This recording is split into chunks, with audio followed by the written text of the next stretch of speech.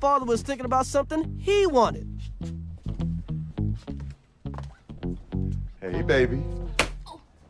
Whoa, whoa, whoa, whoa, hey! Who are you? I'm Sheila. You must be Julius. What are you doing in my bathroom? Um, Rochelle. Where's Rochelle? She downstairs. Rochelle! I, I live next door. Where? Next door.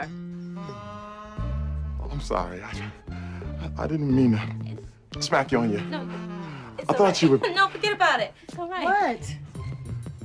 Why didn't you let me know there were people in here? I'm sorry. Uh, nice meeting you, Julius. Girl, this color. Ah, gonna look good on you. It's hot. thank you. Okay, I'm gonna let myself out. You got it, girl. Rochelle. No problem. You got it. Next time, let me know when you got people in my house. Okay. Anybody else in here? No! If she found a strange man in her bathroom, she'd be nervous too. What is wrong with that man?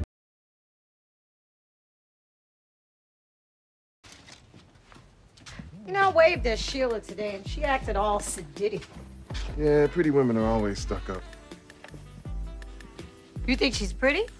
Huh? No, no, I, I don't. I, No, you had just said that you thought she was pretty. I mean, she's not ugly.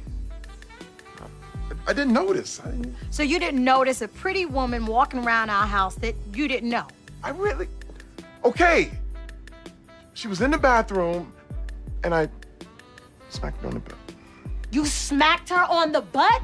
I smacked her on the butt. I thought she was you. Look, I see a grown woman's behind running around my house. I automatically assume it's yours. So you can't tell my behind from No. hers. But yet my behind was perfectly clear to you last Wednesday. I don't. I.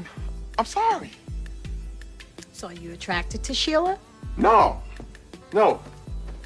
Well, Julius, if you're not attracted to her, how could you think she was me? Because y'all both fine, baby. What's, Sit did you- down, Julius.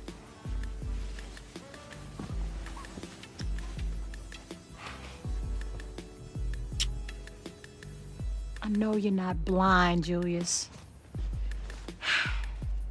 She's pretty. And if you think I look like her, then I'm okay with that. Really? No, if that happens against somebody getting stabbed. That's my mother's version of being understanding.